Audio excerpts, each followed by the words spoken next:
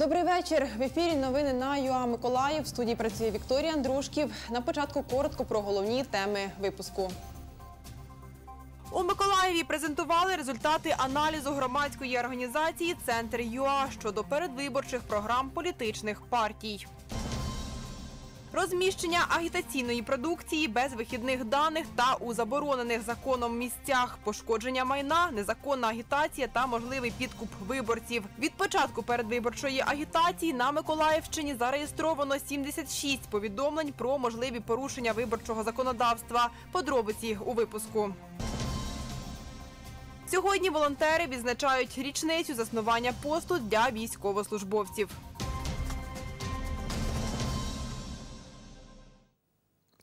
Сьогодні у Миколаєві презентували результати аналізу передвиборчих програм політичних партій, які здійснила громадська організація Центр ЮА. Створений інтернет-ресурс містить стислу інформацію щодо позицій 12 топових партій у 25 напрямках політики, таких як міжнародні відносини, бізнес, повернення анексованого Росією Криму тощо. Щодо міжнародної політики, не всі партії мають е, своє бачення. Тобто тут щодо України і ЄС, так ми говоримо, що партія Батьківщина, партія Свободи, Голос, е, Солідарність е, вони е, ратифі... ну, пропонують членство в ЄС. А самопоміч розширена співпраця з ЄС. Бачимо, що три партії не мають своєї позиції щодо цих пунктів. Далі про що ми можемо говорити? Це війна і взаємини із Росією. Ми бачимо те, що, наприклад, партія Голос, ось тут ми бачимо. Тобто вона пропонує безкроковна деокупація окупованих територій. Регіональна представниця громадської організації Центр UA Тетяна Степанова говорить, аналітика показала, що кілька політичних сил щодо деяких напрямків не мають визначеної позиції або не пропонують конкретних дій. Щодо виборів парламент, ми можемо говорити, ми аналізуючи е, 12 партій, ми можемо говорити про те, що не мають своєї позиції партія Батьківщина та партія Свобода. І це дуже дивно насамперед, тому що ці ключові е, також партія Європейська Солідарність. Е, Це ключові партії, які е, м, стовідсотково входять в топ 10 в топ 12 за всіма соціологічними опитувальниками, і вони не мають позицій. Е, Ще ми що е, зробили акцент, що партія Батьківщина. По дуже багатьох ключових е, сферах не мають своєї позиції чи максимально нейтрально е, говорять про це. Щодо правосуддя та справедливості, е, партія Європейська Солідарність пропонує перезавантаження всіх суддів, але е, не мають яких ключових е, тенденцій, не мають яких ключових, не мають конкретики в своїх предвиборних позиціях. Онлайн-інструмент має назву Вибори 2019 за кого голосувати. Він розміщений на сайті Українська Правда. Володимир Степанов, Ігор Чорний. Новини на ЮА Миколаїв. Від початку передвиборчої агітації на Миколаївщині зареєстровано 76 повідомлень про можливі порушення виборчого законодавства. Вони стосувалися розміщення агітаційної продукції без вихідних даних та у заборонених законом місцях, пошкодження майна, а також нібито незаконної агітації і можливого підкупу виборців. 76 е, повідомлень, 29 е, не знайшли свого підтвердження, 7 знаходиться на розгляді. Складено 41 адміністративний протокол, 29 з яких направлено до суду. Заводським відділом поліції розпочато одне кримінальне провадження. Найбільше ймовірних порушень стосуються рекламних бордів, говорить координатор громадянської мережі Опора за виборами в Миколаївській області Дмитро Баштовий. Ми е, здійснили рейд по місту Миколаєві щодо виявлення е, незаконної агітації, а власне агітації друкованої агітаційної продукції без необхідних даних. Це є тираж, це є замовник, це є установа, що здійснила друк, і особа відповідальна за, відповідальна за друк. Тому нами було виявлено більше 120 бордів на, той момент, а, 20 сітілайтів. Це Європейська солідарність, політична партія, опозиційна платформа за життя, опозиційний блок. Це і е, Всеукраїнське об'єднання Батьківщина. Це були основні партії, які на той момент були виявлені, і були розповсюджені їх друкована агітаційна продукція без вихідних даних. На той момент щодо кандидатів в одномандатних округах це був Анатолій Дворник та Ігор Дятлов. Ще раніше ми зверталися по такій ж, такій ж самому, такому ж самому порушенню кандидатів Бориса Козира і Артема Ілюка. І Анатолія Гасюка це по 131-му у місті Вознесенську. Дмитро Баштовий каже, після звернень до поліції та складання адміністративних протоколів ситуація з рекламою на бордах виправляється. Необхідна інформація з'являється. Натомість, говорить Дмитро Баштовий, агітатори здійснюють інші правопорушення. Єдині дві, вимоги: вся друкована продукція, взагалі продукція повинна агітаційно фінансуватись виключно з виборчого фонду, тобто кошти повинні йти з відповідного фонду кандидата або партії, та на них зазначатися якраз ті вихідні дані, які повинні бути також і на зовнішній рекламі. Єдине, що можна зазначити, коли йде розклеювання по стовпам. Це все ж таки йде більше порушення не виборчого законодавства, а порушення правил благоустрою, встановлених нашою міською радою. Станом на сьогодні ми звернулися до поліції щодо розповсюдження листівок по стовпам кандидатів е, Ігора Капитіна, пасічного по 127 округу, так і е, партії Голос. Ми звернулися щодо якраз ознак порушення правил благоустрою, встановленої нашою міською радою, і за що передбачена адміністративна стаття по, е, по е, кодексу про адміністративні правопорушення, е, стаття номер 152. Також поліцією були зафіксовані випадки ймовірного підкупу виборців. Політехнолог Олександр Ухмановський говорить, це поширена світова практика. Зазвичай використовують непрямий підкуп. непрямий подкуп, о, якому говорить ЦВК та закон. Це, наприклад, я вам надаю продуктовий паї- пайок, так званий, а ви, ну, можливо, проголосуєте. Але я не е, говорю проголосуй за мене. І ви не обіцяєте це, але це якось так, от підспудно, так от зрозуміло. Непрямий подкуп використовують майже всі. Е, Це і є е, в нас дані, що один із кандидатів в місті Миколаєві роздавав продуктові пайки. е, І є е, інформація в СМІ, що кандидат на одному округі, окрузі Тимошин надавав в амбулаторії якісь там дорогостоючі е, обладнання медицинське. Це все є подкупом. Olександр Ухмановський каже, підкупом є не лише роздача матеріальних цінностей, а й надання послуг. Наприклад, один із кандидатів в народні депутаті обіцяв е, е, своїм прихильникам, що він, е, вона буде звозити на концерт одного з співаків в Одесі. Тобто переїзд Миколаїв Одеса є послуга, надання послуги по е, там з надання транспортної послуги. Тобто це теж підкуп.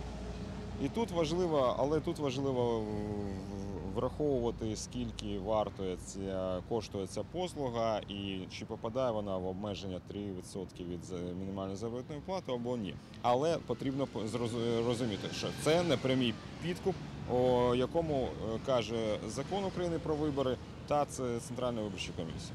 Катерина Балєєва, Сергій Куропятник. Новини ЮА Миколаїв.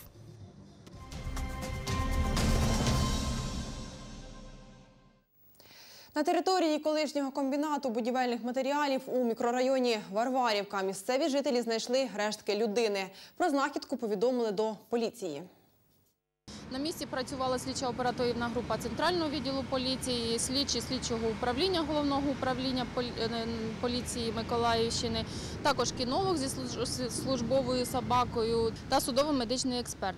Наразі кістки було вилучено та направлено на судово медичну експертизу. Е, Також встановлюються та е, Встановлюються обставини, розпочато кримінальне провадження за частиною першої статті 115 Кримінального кодексу України умисне вбивство. Встановлюється та ідентифікується особа померлої людини. У Вознесенську на вулиці Соборності внаслідок розгерметизації паливної системи загорівся автомобіль ВАЗ-2106. Травмованих немає.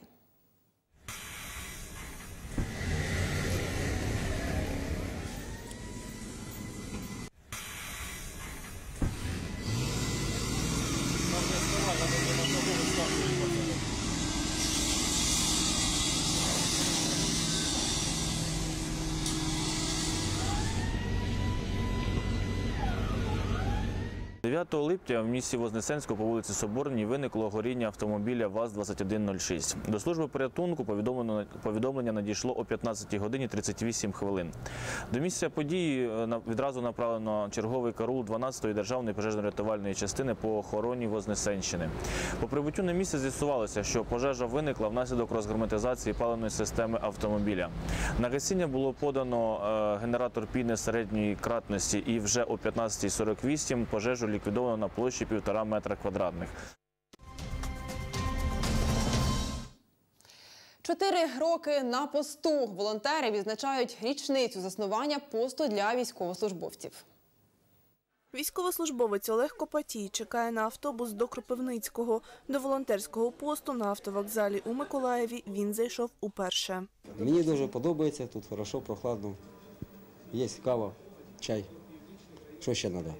Гостя зустрічає волонтер Євген Павленко, готує каву та бутерброди. Допомагати бійцям з купівлею квитків,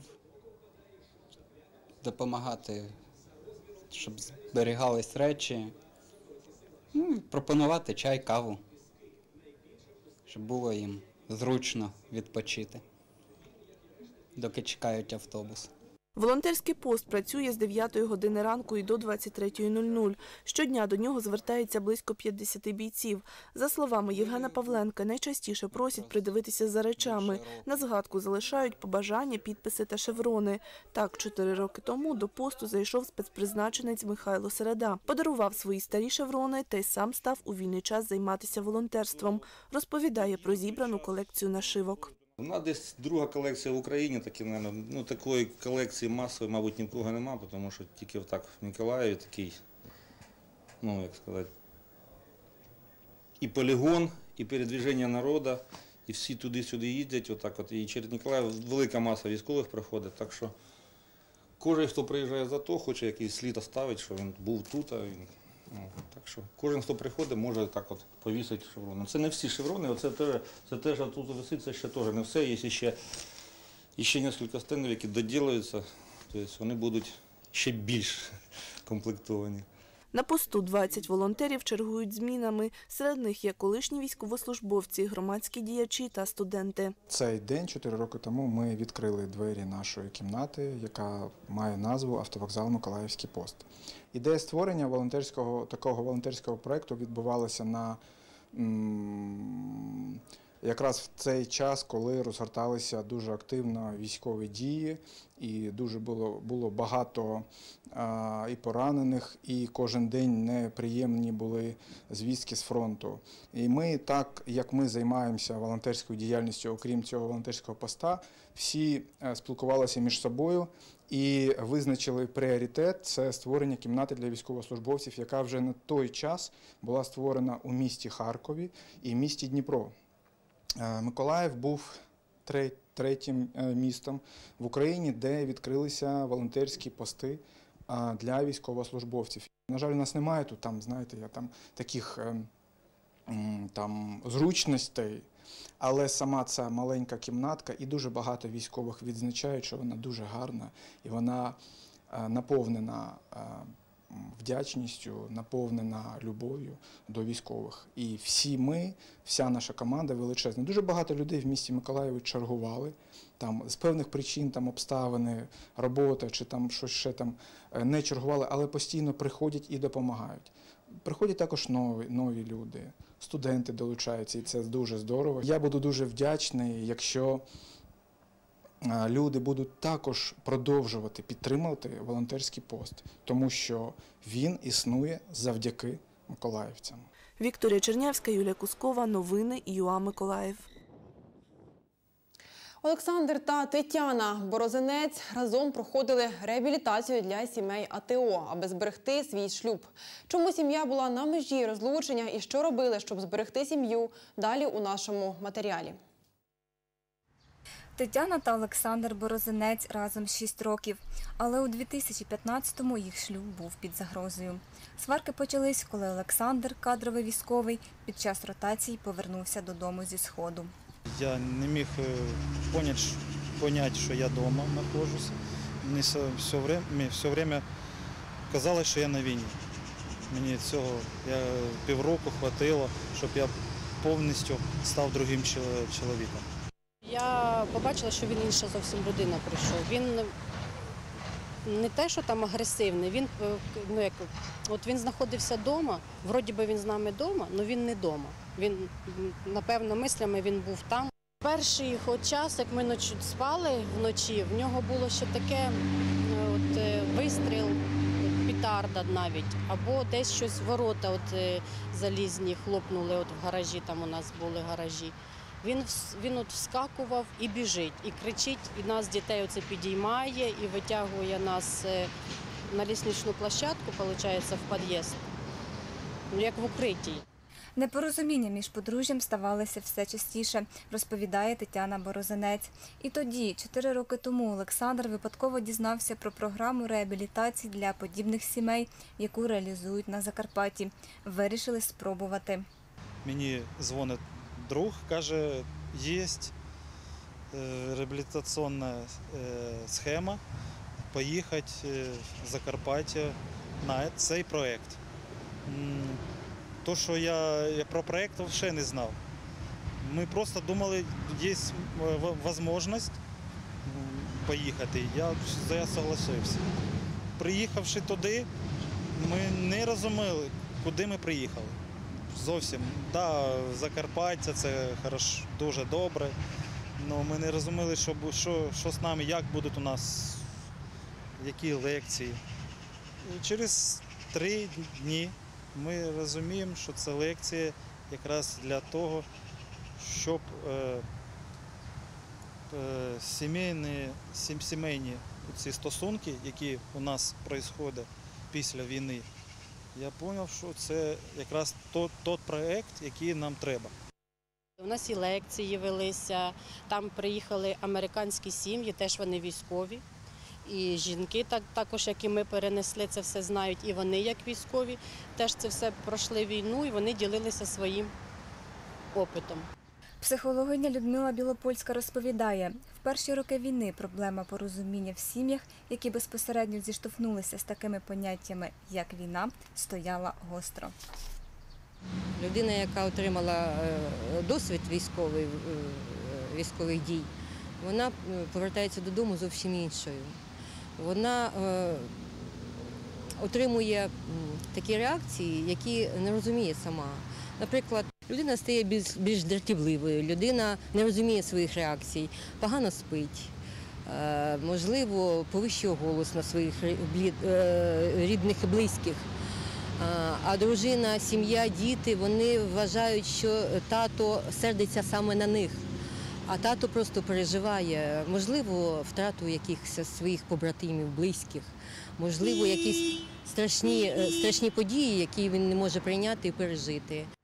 Поруч з психологами над проблемою збереження сімей працюють капелани.